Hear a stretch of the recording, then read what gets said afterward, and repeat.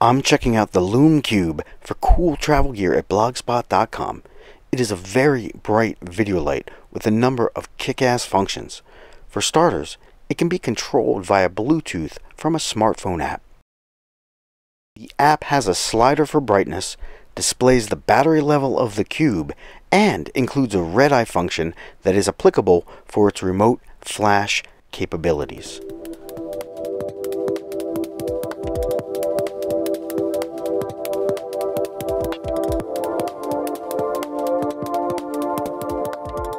It links directly and easily via Bluetooth.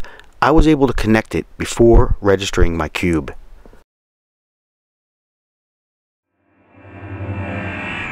The remote flash is perfectly timed and responsive. It's very handy, almost an instant setup.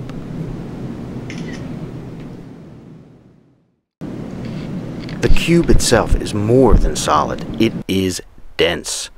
It takes a micro USB to charge it, and it has a standard thread for tripod mounting or use with this optional hot shoe mount.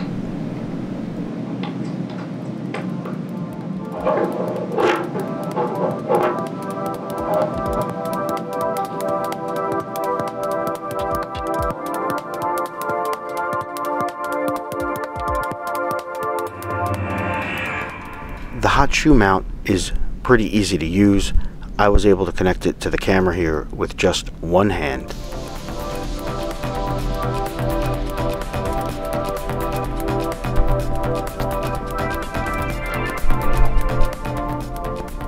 The hot shoe kit includes an adapter for a non-standard thread and the threads on the cube itself were very well machined. The device screwed right on and was ready to go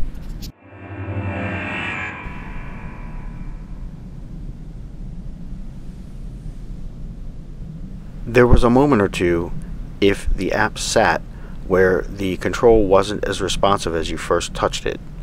However, as soon as it regained its sensitivity, the app was very easily adjusted and very responsive.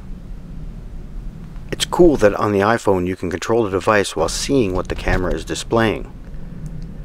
It's also manually controllable with 10 clicks for brightness and this thing gets crazy bright.